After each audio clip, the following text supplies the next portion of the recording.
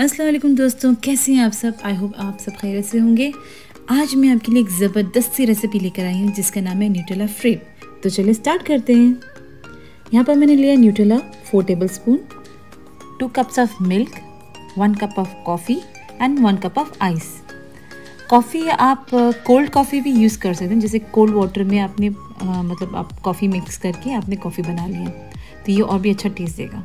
एक ठंडा ठंडा सा। आ, अब ये सारे मिक्सचर्स को हम डालेंगे ब्लेंडर में। न्यूटेला न्यूटेला तो सबका फेवरेट होता है। ये रेसिपी ऐसी है बड़े हो या छोटे हो सबकी फेवरेट है। और इवन वी लव न्यूटेला तो ये सारे इंग्रेडिएंट्स इसमें जाएँगे। ये रेसिपी इतनी टेस्टी होती है कि मेरे बच्चों की बार बार डिमांड होती है इस चीज़ के लिए। अब मैं इसमें डालूँगी मिल्क, जो हमारा मिल्क हमने लिया था।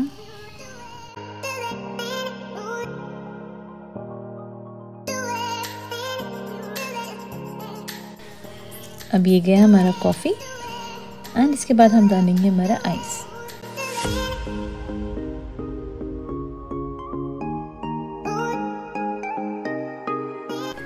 अब आप इसे अच्छे से ब्लेंड कर लीजिए।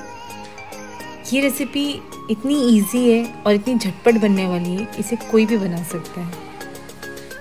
देखिए, अब हमारा मिक्सचर रेडी हो चुका है, हमारा न्यूट्रेला फ्रैप रेडी है। अब अभी इसे सर्व करेंगे। यहाँ पर मैंने न्यूट्रेला को थोड़ा सा ओवन में रख के आई गेस 15 सेकेंड्स ओवन में रख। के मैंने थोड़ा सा इसको मेल्ट कर लिया। एंड देन इसे ग्लास में ऐसे मैंने डेकोरेट कर लिया।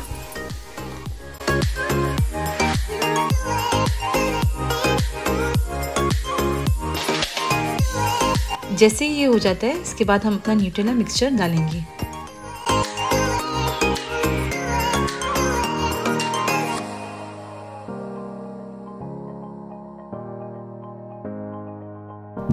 मैंने यहाँ पर विपिंग क्रीम जो होता है, वो मैंने इससे अपना डेकोरेशन किया है। ये मैंने विपिंग क्रीम को डालकर फिर इस पर आपको जैसे करना है आप कर सकते हो, आपकी मर्ज़ी है।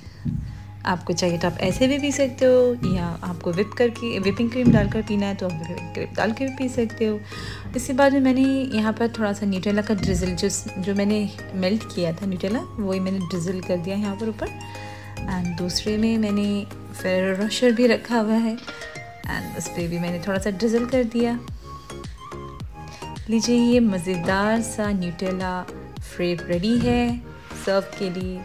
आप ज़रूर बना के टेस्ट करके मुझे ज़रूर बताना कि कैसा बनाए अगर आपको मेरी रेसिपी अच्छी लगी हो तो please like share comment and subscribe ज़रूर कीजिए। तब तक कि अल्लाह हाफिज़। Bye take care